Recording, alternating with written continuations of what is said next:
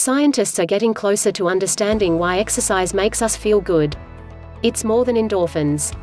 Exercise were a drug, we would say its benefits were too good to be true.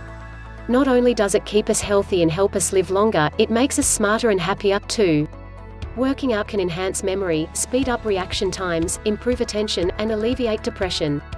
It may even stave off neurodegenerative disorders like Alzheimer's and Parkinson's disease. How does it do all that? Over the past decade, scientists have started to uncover the ways exercise impacts our brains.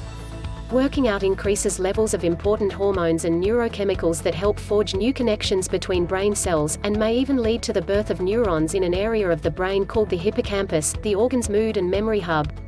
Exercise seems to be good for practically every function in the brain and body, says Fernando Gomez Pinilla, a professor in the Department of Integrative Biology and Physiology at UCLA. Every time you work out, your muscles, fat cells, and liver release a variety of molecules into the bloodstream. Some of these molecules circulate through the body and travel up to the brain, where they cross the blood-brain barrier. Once inside, they trigger a cascade of beneficial changes that can make you feel sharper and happier. One of the most crucial changes is the release of a growth hormone called brain-derived neurotrophic factor, or BDNF. When it comes to exercise's positive effects on the brain, BDNF is the star. Exercise seems to be good for practically every function in the brain and body. This is one of the most important molecules for brain function in connection to the effects of exercise, says Gomez Pinilla. BDNF is very important for all of the basic processes related to learning and memory in the brain.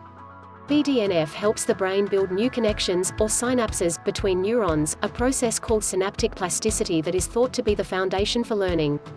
Cells communicate through these connections both within and across areas of the brain. For example, neurons in the hippocampus create synapses with cells in the prefrontal cortex, another region that significantly benefits from exercise. The prefrontal cortex is where a lot of our higher-level executive functions originate, like decision-making and attention, processes that are also improved with exercise. BDNF's most remarkable effect is also its most contentious. Years of research show that, at least in rats and mice, exercise-induced BDNF triggers the growth of new brain cells in the hippocampus, a process called neurogenesis. BDNF does this by boosting the function of stem cells in the brain, eventually filling the hippocampus with new healthy cells that enhance brain power. Whether neurogenesis also happens in adult humans is more controversial. Some studies suggest yes, others no. That's because there's no clear way to measure the birth of a new brain cell without cutting open someone's skull. Until there are better, more sophisticated methods that directly address whether neurogenesis is increased by exercise in humans, that remains unclear, says Henriette Van Praag, an associate professor of biomedical science at Florida Atlantic University. Exercise also changes the brain's network of blood vessels. More blood flow in the body from exercise corresponds to more blood flow in the brain, as well as the rise of a blood vessel-specific molecule called vascular endothelial growth factor VEGF. As a result, new blood vessels form in the hippocampus. In rodent brains, neurogenesis and blood flow are connected, potentially because the new blood vessels bring more growth factors to the area.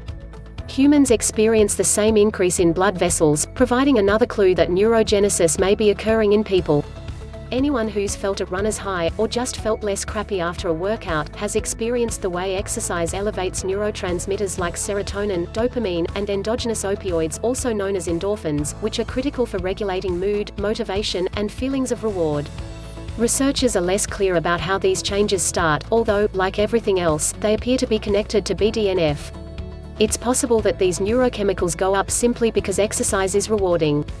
Anything that makes you feel good will raise your dopamine levels, for example, so if going to a SoulCycle class is fun for you, your brain will release the reinforcing chemical in response.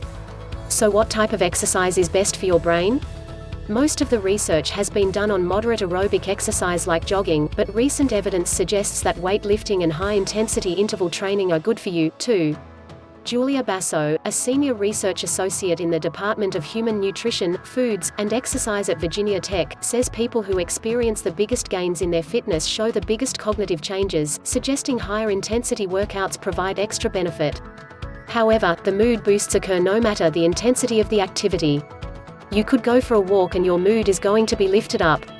But you need higher intensity to get cognitive improvements, Basso says. The more you're getting your heart rate up higher and higher, the longer term fitness benefits you're going to have, and then the longer term cognitive benefits.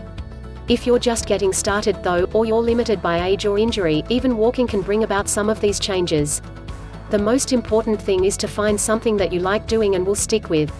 In practical terms, Basso says, the best exercise regimen is going to be one that you're enjoying and that can get you to go back the next day.